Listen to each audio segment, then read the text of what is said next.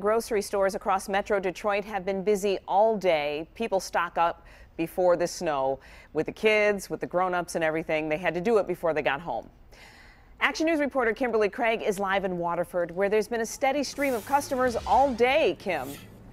And yes, Glenda, here at Tenuta's, I'm telling, telling you, this is a very popular place here. They've been busy all day, folks getting what they need now so they don't have to come out again tonight or tomorrow. I need stuff to make a big pot of soup. Here at Tenuta's in Waterford, staying busy during snowstorms is part of tradition.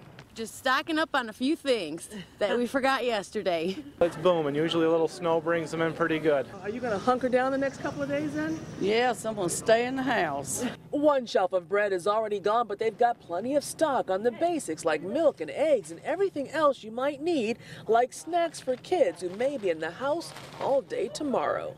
Our language arts teacher told us to do all these things to ensure that we do have a snow day. Basically, I'm going to be in the house for the next couple days and I need milk. So what kind of things do you have to do to ensure you got a snow day tomorrow? Well, we got to throw ice out the window and down the toilet.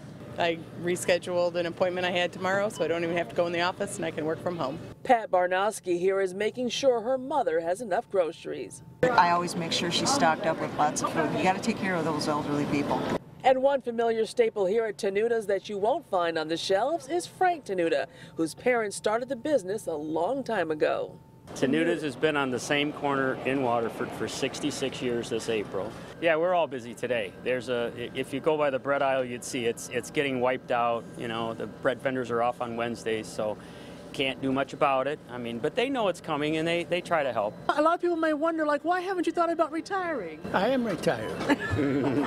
but you still come to the store? Yeah, to do get out of the house. Ah, gotcha.